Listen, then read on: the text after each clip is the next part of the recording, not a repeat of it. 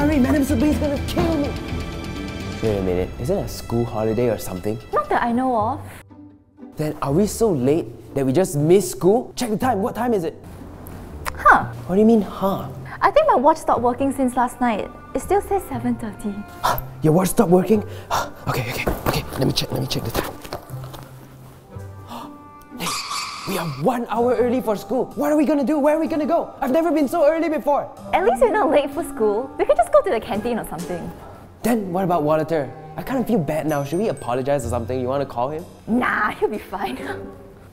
Yeah, he'll be fine. Janika, why you always do this to me? I gotta send the kids to school. Was it just a dream? Janika, where are the kids?